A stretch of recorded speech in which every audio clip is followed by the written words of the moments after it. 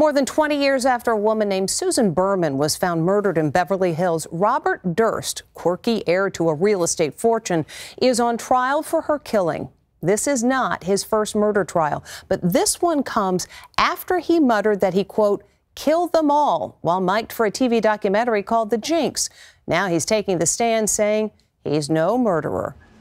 78 year old tycoon Robert Durst wore a face shield as he took the stand and denied he murdered his best friend. Bob? Did you kill Susan Berman? No, Do you know who did? no, I do not.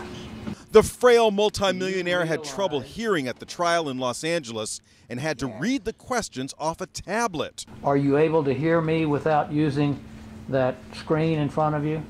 No. He listed all his many health issues. I have chronic kidney disease. I've had two major operations for cancer. Durst is said to be worth $100 million. He was born into a wealthy real estate dynasty. The Durst organization is even part owner of One World Trade Center. But Robert Durst is a pariah even in his own family.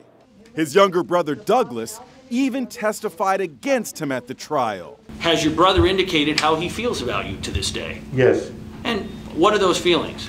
he'd like to murder me. This is not Durst's first time in a courtroom. In 2003, he was found not guilty of murdering his neighbor in Galveston, Texas, even after he admitted dismembering the body.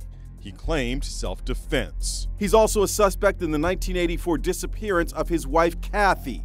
Her body has never been found.